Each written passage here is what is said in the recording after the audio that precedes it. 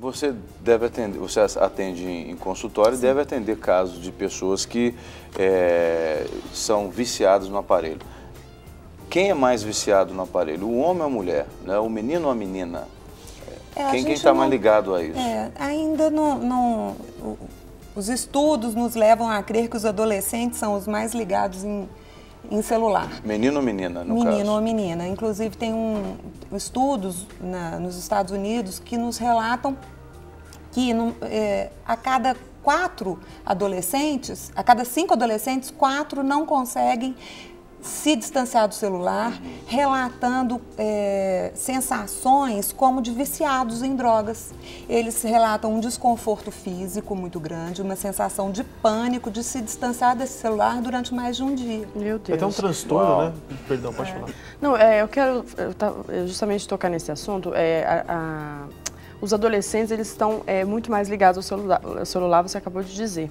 Agora, é, a gente é, observa o seguinte, na minha adolescência não existia esse vício com o celular, a gente brincava mais, estudava, tinha mais tempo para estudar. não existia nem celular na sua adolescência? Não existia, não, existia sim. Existia, mas eu não tive celular muito nova. Meu pai e minha mãe também acharam melhor ter um celular mais, está maiorzinho. Cada vez mais difícil. Agora, cada dia que passa isso está mais difícil. O que, que pode causar no futuro desses adolescentes, é, talvez perder perder tanto tempo na adolescência com o celular. Até Ai, vai é. deixar de, de, estudar, vai deixar de fazer um curso, porque isso toma muito tempo. A pessoa Sim. é capaz de ficar o dia inteiro no, no celular. Quais as consequências para o futuro desse adolescente? Pois é, essas, essa, esse uso inadequado do celular tem trazido um isolamento social enorme. Isso tem trazido um, uma, um isso é um limitador nas relações. As pessoas não se relacionam. Então, não, muitos perdem namoros, casamentos.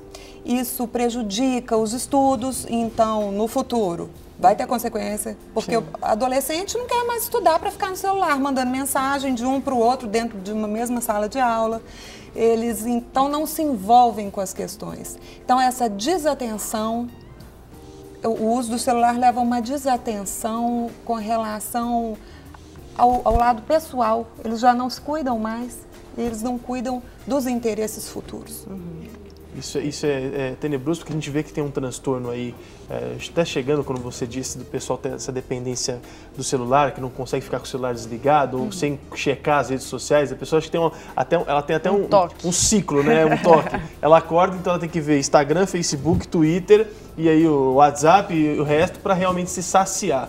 Esse transtorno, ele pode causar uma depressão, uma rejeição, alguns fatores profundos da psicologia, eu digo isso porque às vezes as pessoas estão é, perto de tantas outras pessoas na internet, começam a, a, se sentir dentro de um, de um âmbito social, mas na verdade aquilo tudo é virtual, Sim. aquilo não existe. Então quando ela desligar o celular, ela está em casa, a casa dela fechada, com todo mundo sozinho. Isso acontece, Paulo? Acontece.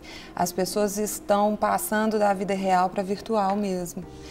E agora, bom, tem até um nome esse vício que se chama nomofobia. Nomofobia. É, mas é, é importante a gente deixar claro que existe uma linha tênue entre o uso e o abuso. Sim.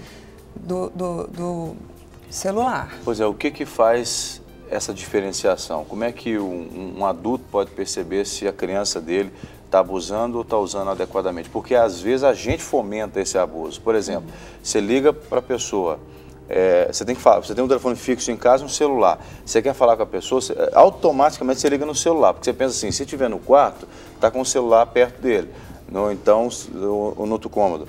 É, e aí você vai insistindo no celular, insistindo, insistindo, insistindo. Se a pessoa não atende, você fala assim, poxa, né, te dei o celular, o celular é, é, um, é um, um, acessório do corpo, você tem que andar com ele direto e tal. Não sei acha ruim, né? Acha, a gente acha ruim. Eu acho ruim quando eu quero falar com minha esposa ou com meu filho não consigo. E eu falo, poxa vida, tem o celular para quê? Né? Então, quando é que a gente consegue perceber esse limiar aí? É, bom, o vício, o que, o que nós chamamos de vício, mesmo o uso excessivo não pode ser caracterizado como vício. O vício ele está ligado a um transtorno de ansiedade que aí o indivíduo passa a usar esse aparelho para suprir necessidades. Para se sentir mais tranquilo. Por exemplo, uma pessoa que sofre de transtorno de pânico, não consegue sair de casa. Com o celular, ele se sente mais seguro. Por quê? Porque com o celular ele vai ter é, acesso a um médico, se ele passar mal, ele tem com quem falar, ele pode ligar para alguém pedir socorro. O celular é uma muleta para ele. Uma muleta para ele. Uhum. Agora, a gente tem que controlar mesmo, porque então é, é muito fácil falar assim, ah, fulano é viciado. Não, não é assim. A gente tem que ver se está ligado a um transtorno de ansiedade, aí precisa de uma ajuda é, de terapia, precisa de ajuda medicamentosa em alguns casos.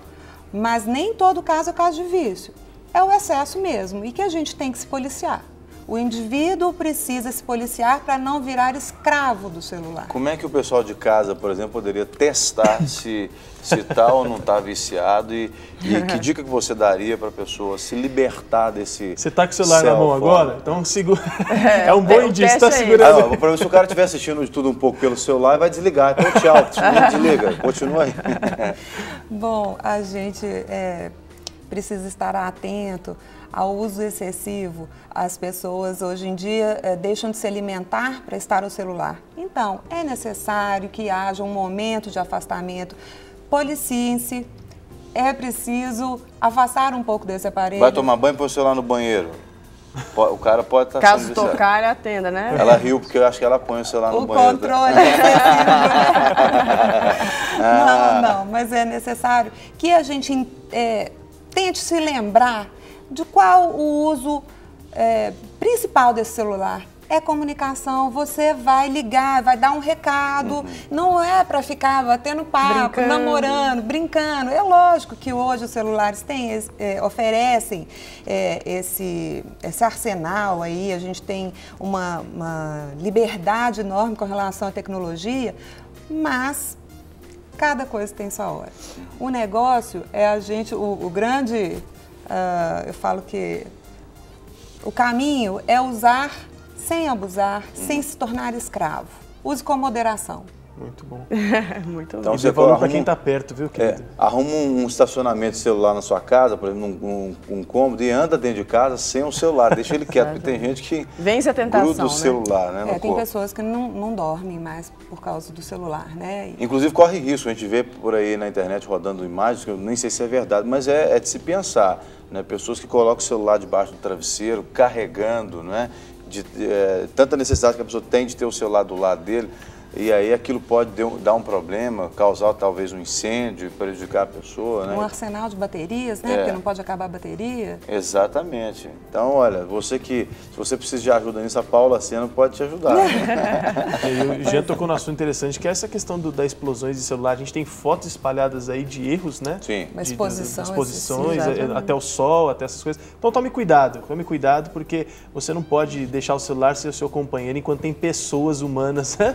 Os humanos sem, estão ao seu lado. E sem lembrar que a boa conversa é sempre melhor do que o celular, assim, pessoalmente Com falando, certeza. né? Uma mesa rodeada de amigos. Uma mesa de amigos. A gente não né? pode perder isso. É, uma, Exatamente. Está acontecendo uma inadequação do uso do celular e as pessoas então deixam de ser pessoas e são só é, uma carinha que chega através do celular. É, uma... né? Paula, obrigado pela sua participação. Obrigada, viu?